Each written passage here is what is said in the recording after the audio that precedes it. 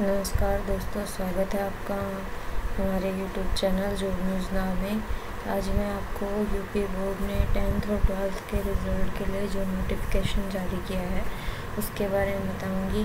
लेकिन उससे पहले आप हमारे चैनल जो न्यूज़ नाम को सब्सक्राइब ज़रूर कर लीजिए और बेल आइकन को प्रेस ज़रूर कर लीजिएगा ताकि आपको हमारे चैनल की लेटेस्ट अपडेट मिल सके।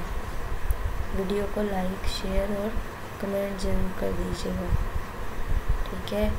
अब मैं आपको बताती हूँ, यूपी बोर्ड ने जो दसवीं और बारहवीं के परिणाम के लिए जो डिक्लेरेशन किया है, वो 20 अप्रैल से 30 अप्रैल के बीच यूपी बोर्ड दसवीं और बारहवीं कक्षा के परिणाम घोषित करेगा।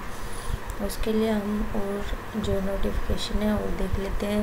उसके लिए हमें टाइप करना है UP board tenth and twelfth result date 2019 तो हम देखेंगे। नव भारत टाइम्स की जो न्यूज़ है। वो उसमें दिया गया है। यूपी बोर्ड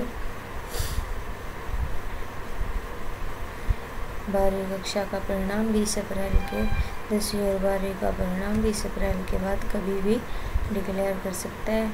तो ये जो है, बोर्ड की, यूपी बोर्ड की जो सचिव है, नीना श्रीवास्तव ने बताया कि यूपी बोर्ड का रिज़ल्ट तैयार हो रहा है और जल्द ही इसे जारी कर दिया जाएगा। ठीक है? तो ये इसमें दिया गया है। यूपी बोर्ड रिज़ल्ट दो हज़ार उन्नीस, टेंथ, ट्वेल्थ को बीस अप्रैल से तीस अप्रैल के बीच जारी कर दिया जाएगा। ठीक है?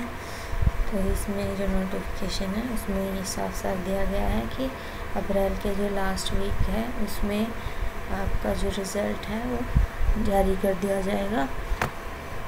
तो वीडियो अगर पसंद आया हो तो लाइक शेयर और कमेंट ज़रूर कर दीजिएगा। धन्यवाद।